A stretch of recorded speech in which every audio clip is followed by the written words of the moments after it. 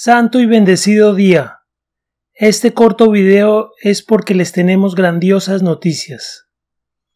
La canonización de Carlo Acutis, el adolescente italiano que falleció a los 15 años y fue beatificado en el año 2020 en Asís.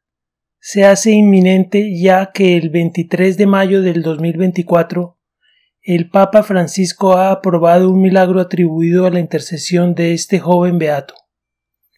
Con este nuevo decreto, Beato Carlo Acutis, modelo de todos los jóvenes católicos, que amó profundamente la Eucaristía, será proclamado santo muy pronto. El Papa Francisco ha decidido convocar un consistorio con fecha aún por determinar en el que se canonizará a Carlo Acutis. Los invitamos a ver y a escuchar la profecía dada por San Francisco de Asís a la madre del beato Carlo Acutis, incluso antes de haber sido beatificado, cuando todavía era venerable Carlo Acutis.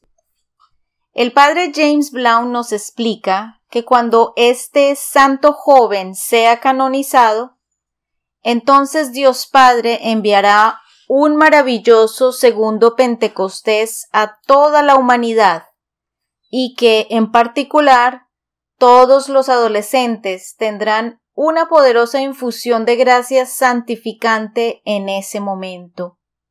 Muchos especulan que se trata de la iluminación de conciencia, también llamado el aviso.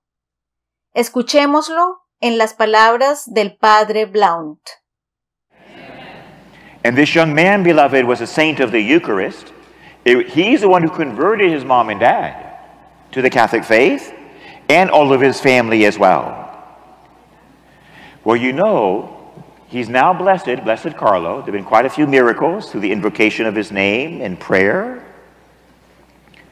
St. Francis has been appearing to his mother, Mrs. Acutis, at night. And he told Mrs. Acutis, he said, when your son Carlo is canonized, not if, but when. And he said that to Mrs. Acutis when Carlo was only venerable. He wasn't even blessed yet, he was just venerable Carlo. When your son is canonized. Then he said, God Almighty will fulfill all prophecy and send forth the Holy Spirit over the face of the earth and touch every teenager in the world with sanctifying grace. Amen.